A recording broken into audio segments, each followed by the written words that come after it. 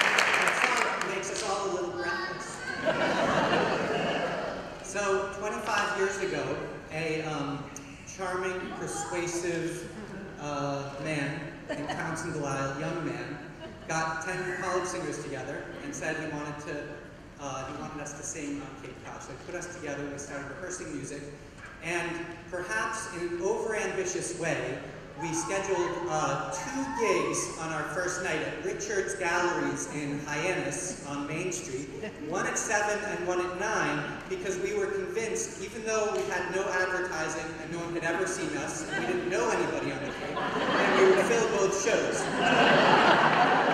Is there anybody here who was in Richard's Galleries at one of those first shows? Right here.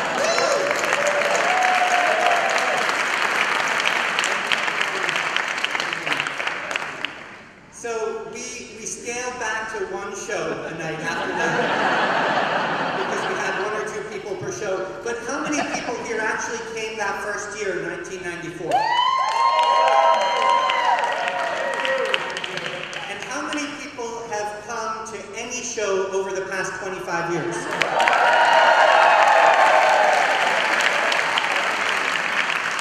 And we don't have a spotlight, but is there anybody here for whom this is your first show?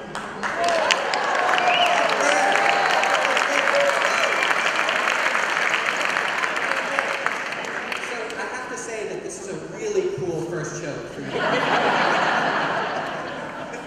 So we got, we kind of got our big break um, at the Barnstable County Fair, where a lot of people get their big break. What, what happened was that we were on a small, sweaty side stage. It was very hot, and we were singing to perhaps five people, and the mamas and papas were opening up on the main stage. And, and, uh, and they had a trailer. And so we went up to that trailer and knocked on the door, and Papa John opened the door with a cigarette in his mouth, and, he, and, and we said, we're the Hyannis Sound, can we sing you a song? And he said, sure, come on in. So we sang for the group, and he said, wow, that's really cool. And then we said, can we open for you? We found ourselves a couple of hours later opening for about 5,000 people.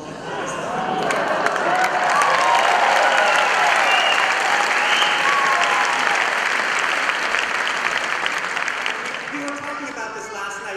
We, we stayed up all night last night partying and singing and sharing stories. And we talked about the electricity that the 10 of us felt on stage. I had never felt anything like that, and I don't know if others had, but it was this electricity that ran through us with 5,000 people cheering, and it lasted for a week and through that whole summer. But there were articles written about us, and then people started coming to Richard's Galleries. Then we booked a gig at Clint Thompson's Clam Bar, and we started singing there. Some people know Thompson's. And something really. I feel like we- we've all had these seminal moments or experiences in our lives that change and shape us. And as we started singing together and playing volleyball, and we were all working full time because we weren't making any money. And so we were rushing from work to home to practice and then to our gigs and trying to get five or 10 or 15 people there, going out into the street and singing for people to try to get them into shows. I remember singing for a bench of four people and three got up and left and one was sleeping. But, but what happened during the course of that summer is we got to know each other really well, and we formed these extraordinary bonds that felt very unusual and even unique for all of us. And as we all on that time, we realized that this was really a seminal moment in our lives that changed and shaped us, and for many of us, pointed to a path forward in our lives. And the friendships that we have built have lasted forever. And what we found with every single group that we've talked to, because now we know each other, we're in touch with each other, many people have met each other and become close friends, is that this is the common experience that we've all had. It's this brotherhood, this kinship that we formed, because so many of us now have shared the greatest moments of our lives together weddings, births, the saddest and most tragic moments of our lives together, singing at funerals and other places. And all these shared bonds have come together through song and the songs we do. So for you, when you hear the songs, you may like them, you may know them, they may remind you of something special. For us, all of what we've done, the experiences we've had, and the special moments in our lives, they're all wrapped up in these songs. So when we sing them, we feel all that. And we are just so thrilled, excited, overjoyed, and honored to be here because this wouldn't happen without you and all of you being part of this with us.